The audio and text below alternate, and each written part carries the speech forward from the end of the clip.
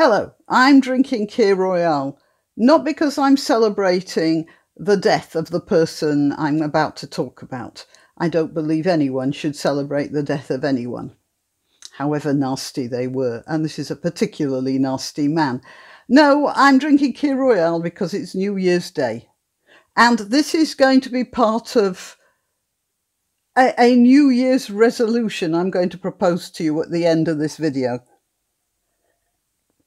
Right. On the 26th of December, George Blake died. George Blake was a traitor responsible for the death, according to the statement accompanying his sentencing, of 42 people who were working for the British intelligence services behind the Iron Curtain. He was sentenced to 42 years in prison, one year for every agent uh, whose death at the hands of uh, various Soviet spy catchers was attributed to the information he supplied to them. He seemed to have little regard for these deaths. I'm probably misquoting him, but I remember a remark he made in an interview so I'll be paraphrasing a little bit. It went something like the interviewer asking him if he felt guilty about the deaths of these people, and he responded along the lines of, Not at all. They were traitors to their country and deserved everything they got. He managed to squirm out of applying that to himself, by the way, by saying, according to Wikipedia, that he'd never felt British. Hang on, that's it. Um, to betray, you first have to belong. I never belonged.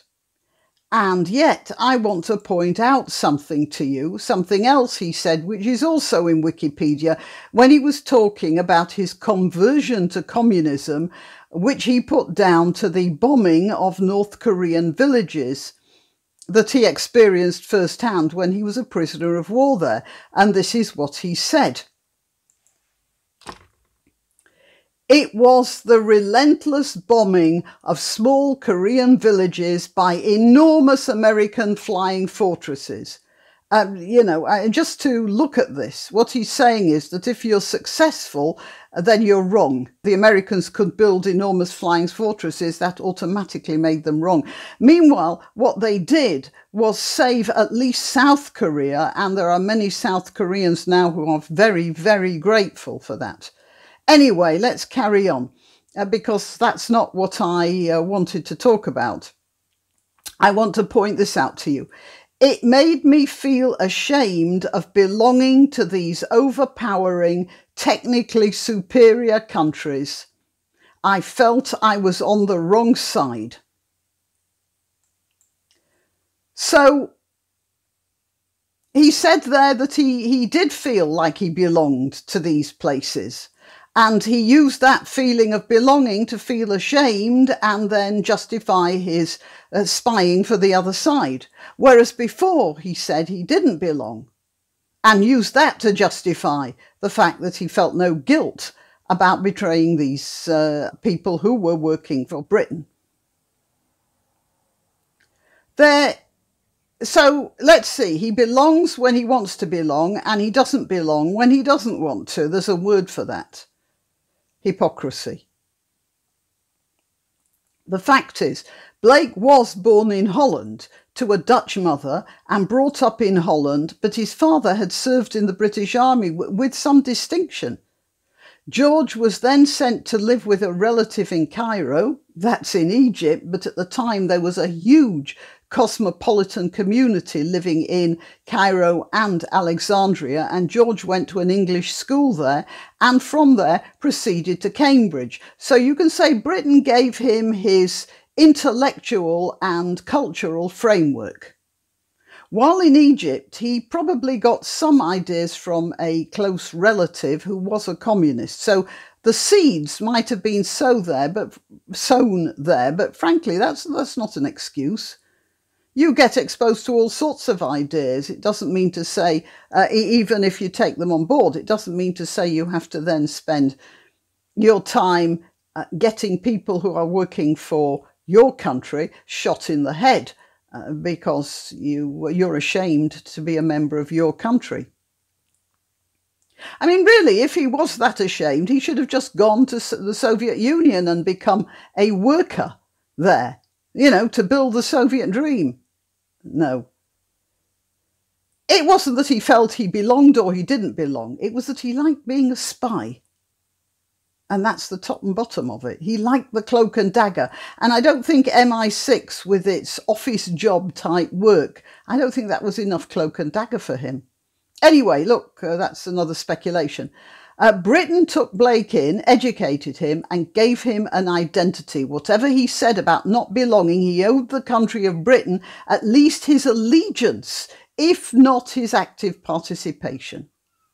And he fluffed that spectacularly. So let's see how the august organs of the news treat the news of his death. Here we have the week A Study in Treason Understanding George Blake, the Soviet Double Agent. So, yeah, he was a Soviet double agent then, was he? He wasn't a British traitor working for Soviet Russia. There's something a bit romantic about the appellation double agent, isn't there? It's the cloak and dagger stuff again. It's not quite so bad as the traitor who betrayed the colleagues who trusted him. Is it? And then this here, this is from the uh, the BBC obituary. George Blake. Uh, George Blake's escape from Wormwood Scrubs prison in London uh, was a major embarrassment to the government of Harold Wilson. Blake, convicted of betraying British MI6 agents to the Soviet Union, had completed just five years of a 42 year sentence. Again, he was convicted of betraying, which isn't quite the same as saying he was a traitor, is it? They've softened the blow by describing what he did rather than what he was. I want to add something here for all of Blake's insistence of the morality of the communist system. He was utterly shocked when they dished out a 42 year sentence. He expected much less than that which means that he knew how much more moral the capitalists were, considering that he also knew all the double agents who were caught by the Soviets got a bullet in the brain after torture in some rancid cellar underneath the Lubyanka. Now, let's see what's next. Um, the Guardian. Oh, yeah. Notorious Cold War double agent dies aged 98. So it says here the former MI6 spy exposed hundreds of Western ag- agents, betrayed hundreds of Western agents, and settled in the Soviet Union. Uh, he's died at the age of 98, it says here. So they call him the former British spy. And I call him the traitor who worked for the Soviet Union, and nobody else is saying that. This is another one from the BBC. George Blake, Soviet Cold War spy and former MI6 officer, dies in Russia. An officer, you see? Not a gentleman. And not a traitor. Where is the word traitor? Um, look at this here. Over nine years, the Soviet spy handed over, so he's a Soviet spy now, not a traitor, uh, handed over information that led to the betrayal of at least 40 MI6 agents in Eastern Europe. So uh, now let's take a look at the, the, the Telegraph. At least they call him infamous here. George Blake, infamous Cold War spy who escaped from prison and fled to Moscow. Obituary. But they still refer to him only as a Cold War spy who escaped prison. Uh, again, slightly romantic, swashbuckling image. So, not once, even in a paper as conservative as the Telegraph, was this man called a traitor. A Soviet spy? Yes. A double agent? Yes.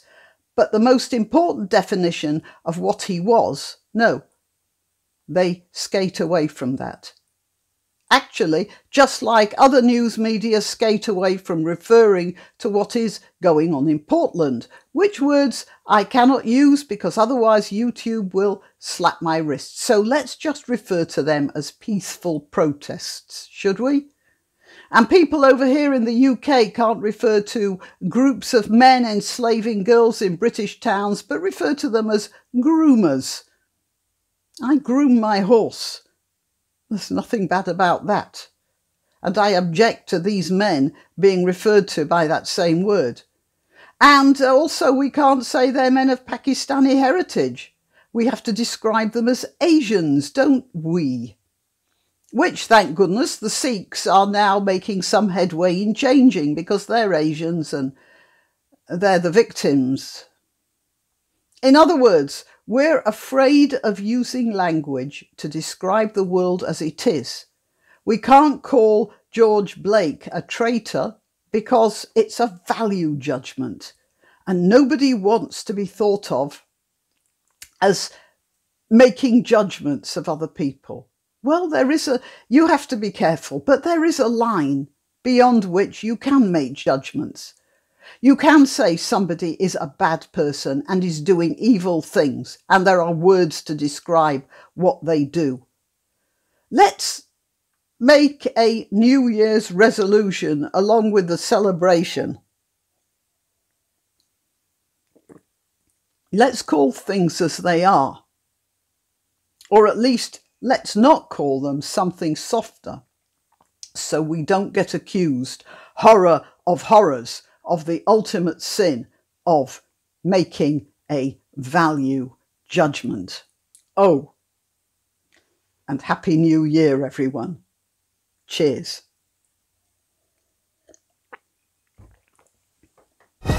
Why not treat yourself or a favoured relative or friend to these magnificent examples of merch?